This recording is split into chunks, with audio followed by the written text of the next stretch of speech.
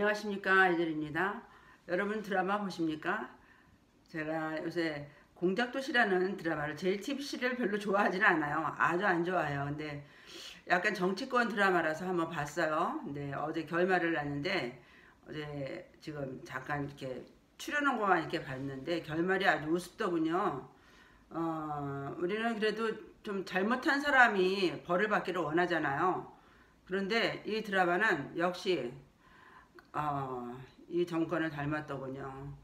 어, 죄 지은 사람들은 뻐젓이 네, 대통령 선거에 출마를 하고 또 그 회장이라는 여자는 어, 건재합니다. 결국은 그 며느리라, 며느리가 모든 거를 다 뒤집어 쓰고 어, 심성이 착한 사람은 어쩔 수 없는 것 같아요. 그 수혜가 주인공인데 아주 어, 심성이 어렸을 때부터 착했어요 보니까 어, 결국은 그 부잣집에 들어가서 그 권력가들과 그 자기의 거를 가지려고 그렇게 애를 써, 쓰고 그랬는데도 결국은 무너지더군요. 자기 자신이 그냥 무너진 거예요. 자기 자신이. 그걸 칠 수도 있었죠. 기회가 있었죠. 눈 감아주고 남편의 그 모든 죄를 눈 감아주고 그래. 어, 근데 대통령 부인으로서 그냥 한번 살아보자. 이렇게 마음 먹었으면 될 텐데 이 주인공은 그걸 싫어했어요. 그걸 싫어하고 어, 그 시어머니의 죄를 낱낱이 고하고 싶었는데 그 권력이라는 게 보통 큰 게 아니네요. 보니까 야 드라마에서 아, JTBC, JTBC에서 그런 거를 하다니 난 너무 놀랐어요. 어, 자기네들도 그런 권력을 쥐고 있으면서 같이 그죠? 아, 저 아침에 지금 출근하다 말고 출근하는 시간인데 제가 이 얘기를 좀 하고 싶었어요. 이 세상이 이렇게 돌아가는구나. 결국은 드라마로도 야 니네들은 어, 꺼적대기나 마찬가지야. 그러니까 우리가 시키는 대로 해야 돼. 어, 그런 것 같아요.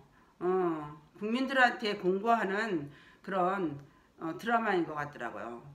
어, 정치와 경제를 모든 것을 쥐고 있는 어, 이 정권이 아, 지금 경제의 그 모든 거를 누가 쥐고 있습니까? 나라에서 쥐고 있지 않습니까? 아, 소상공인들 죽이는 것도 누가 지금 죽이고 있어요. 이거 막 뭐 네 명 들어가는 건 괜찮고 여섯 명 들어가는 건 안 되고 이게 말입니까 방금입니까 또. 아, 나 진짜 이상한 나라야 이렇게 생각할수록 그리고 지가 지금 청와대에 앉아 있는 그 사람이 지금 응?